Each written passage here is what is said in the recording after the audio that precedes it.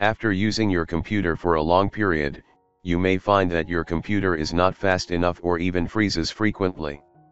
At this time, if you don't have enough money to purchase a new one but want to improve computer performance, you can improve computer performance with some hardware upgrades. Use the following command to rate your computer hardware, on a scale of 1.0 to 9.9. Open PowerShell and run as administrator.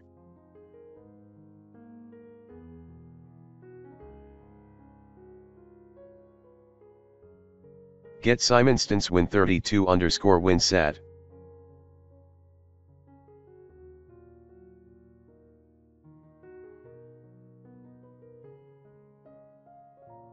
Results includes a subscore of 5 key areas of a PC's hardware, desktop graphics, 3D gaming graphics RAM, hard disk, and processor processing speed and ability.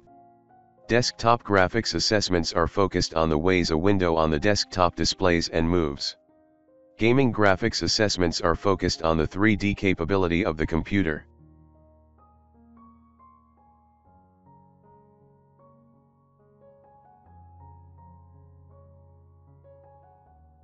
The subscores can help show you what area is performing the lowest on your system if you are looking to upgrade your hardware. With the above results, I should consider upgrading the hard drive for the computer. Thanks for watching, don't forget like and subscribe. Help me make a dream of 100,000 subscribe.